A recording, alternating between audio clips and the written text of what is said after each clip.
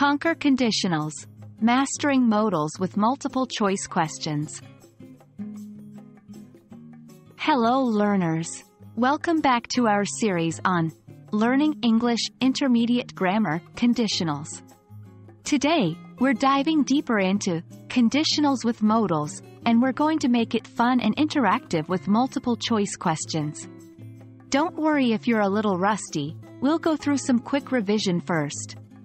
Let's get started. Before we dive into the exercises, let's do a quick recap. Conditionals with modals are sentences that express hypothetical situations and the consequences that follow. They often contain if and a modal verb like could, would, might, etc.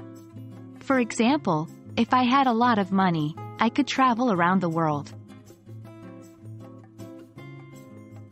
Modals in conditional sentences provide additional information about the mood or attitude of the speaker. They add nuance to the meaning. They could express things like possibility, probability, advice, ability, permission, or obligation. Here's another example. If you studied more, you might get better grades. Now, let's put your knowledge to test with some multiple choice questions. 1. If we, blank, earlier, we wouldn't have missed the train. 2. A. Leave. 3. B. Would leave. 4. C. Had left. 5. D. Has left. 6. She, blank, have passed the exam if she had studied harder. 7. A. Can. 8.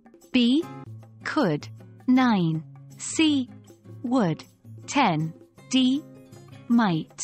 Remember, there's no rush. Take your time to think about each answer. Let's go through the answers. 1. The correct answer is C. Had left. This is an example of the third conditional where we talk about a situation in the past that didn't happen and its hypothetical result. 2. The correct answer is B. Could. Here, could is used to indicate a possibility that did not happen in the past. Key point.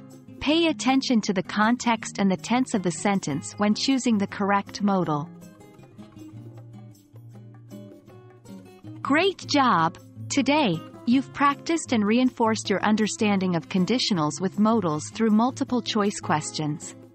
Remember, practice is the key to mastering any language skill. Keep revisiting these exercises and you'll find yourself becoming more and more comfortable with conditionals. Thanks for joining me today, and I'll see you in our next lesson.